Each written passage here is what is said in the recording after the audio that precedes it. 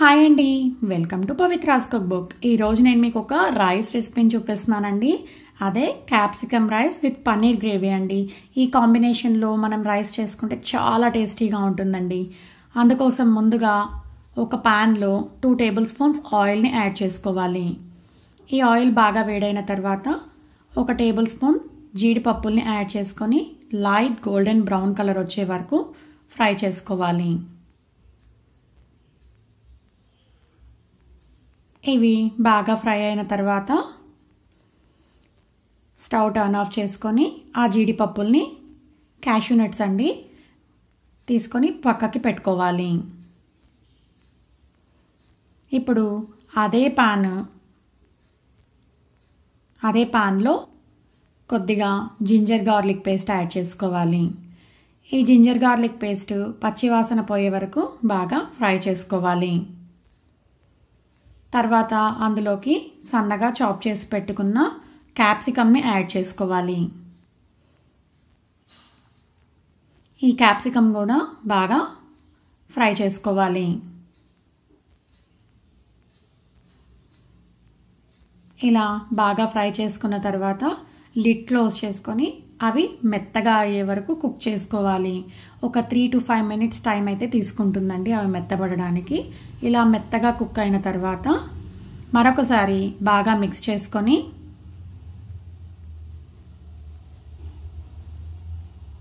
అందులోకి చిటికెడంత పసుపు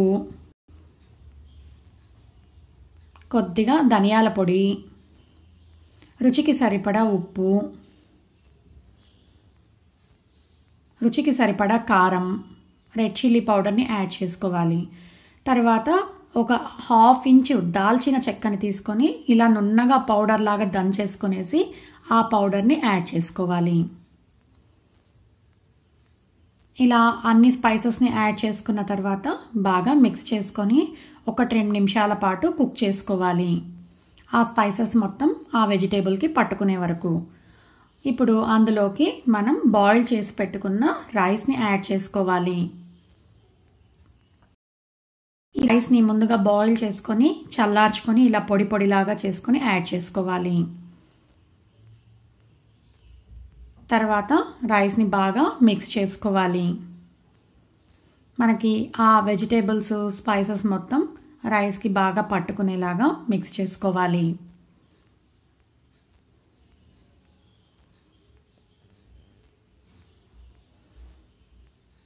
చూస్తున్నారు కదండి. ఇలా బాగా మిక్స్ చేసుకున్న తర్వాత లిడ్ క్లోజ్ చేసుకొని కాసేపు ఉడికించుకోవాలి. ఇలా ఉడికించుకోవడం వల్ల మనకి ఆ కారం మొత్తం రైస్కి కూడా పట్టుకొని టేస్టీగా తయారవుతుంది.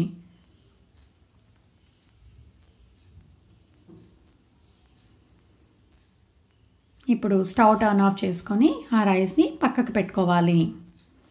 మనం ఇప్పుడు పన్నీర్ గ్రేవీ ఎలా తయారు చేసుకోవాలో చూద్దాం. ముందుగా ప్యాన్లో ఒక టేబుల్ స్పూన్ ఆయిల్ని యాడ్ చేసుకోవాలి. ఆయిల్ వేడైన తర్వాత కొద్దిగా జింజర్ గార్లిక్ పేస్ట్ని యాడ్ చేసుకొని పచ్చివాసన పోయే వరకు ఫ్రై చేసుకోవాలి. ఇప్పుడు అందులోకి గ్రీన్ చిల్లీస్ సన్నగా చాప్ చేసి పెట్టుకున్న ఉల్లిపాయ ముక్కలు యాడ్ చేసుకొని బాగా ఫ్రై చేసుకోవాలి.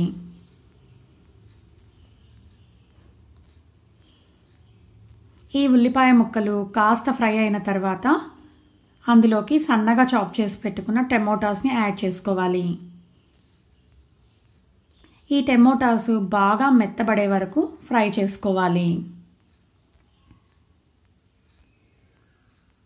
ఇప్పుడు కాసేపు లిడ్ క్లోజ్ చేసుకొని కుక్ చేసుకుందాం. టమోటాస్ సాఫ్ట్గా తయారయ్యే వరకు.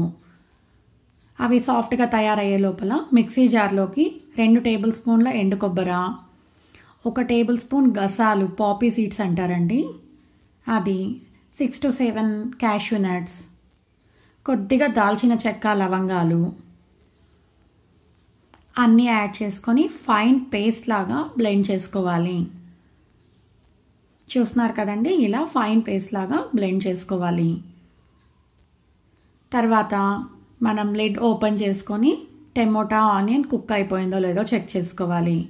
ఇది కుక్ అయిపోయిన తర్వాత అందులోకి కొద్దిగా గరం మసాలా చిటికెడు పసుపు రుచికి సరిపడా కారం కొద్దిగా ధనియాల పొడి రుచికి సరిపడా ఉప్పు అన్నీ యాడ్ చేసుకొని బాగా ఫ్రై చేసుకోవాలి.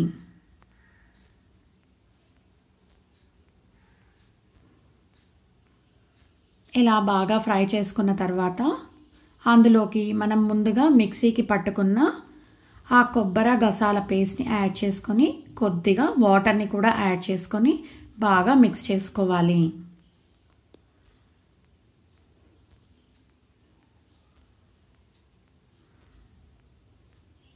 మనకి ఎంత థిక్ కన్సిస్టెన్సీ కావాలనుకుంటే దానికి తగినట్టుగా మనం వాటర్ని యాడ్ చేసుకోవాలి. వాటర్ని యాడ్ చేసుకొని మూత పెట్టుకొని కాసేపు ఉడికించుకోవాలి. ఇలా బాగా ఉడుకుతున్నప్పుడు అందులో మనం సన్నగా చాప్ చేసి పెట్టుకున్న పన్నీర్ని యాడ్ చేసుకోవాలి. ఈ పన్నీర్ ఇలా చిన్న చిన్నగా యాడ్ చేసుకుంటేనే రైస్లోకి చాలా టేస్టీగా ఉంటాయండి. యాడ్ చేసుకొని బాగా మిక్స్ చేసుకొని మరొకసారి లిడ్ క్లోజ్ చేసుకొని రెండు మూడు నిమిషాల పాటు ఉడికించుకోవాలి. అప్పుడు ఆ మసాలా మొత్తం పన్నీర్కి బాగా పట్టుకుంటుంది. చూస్తున్నారు కదండి మన కర్రీ బాయిల్ అవ్వడం స్టార్ట్ అయింది. ఇప్పుడు కొద్దిగా సన్నగా చాప్ చేసి పెట్టుకున్న కొత్తిమీరని యాడ్ చేసుకొని మరొకసారి బాగా మిక్స్ చేసుకోవాలి. ఇప్పుడు స్టవ్ టర్న్ ఆఫ్ చేసుకొని ఒక బౌల్లోకి ట్రాన్స్ఫర్ చేసుకోవాలి. అంతే అండి మన క్యాప్సికమ్ రైస్ పన్నీర్ గ్రేవీ తయారైపోయింది. ఈ కాంబినేషన్ చాలా బాగుంటుంది. మీరు కూడా ట్రై చేసుకోండి. Thanks for watching please subscribe Pavithra's cook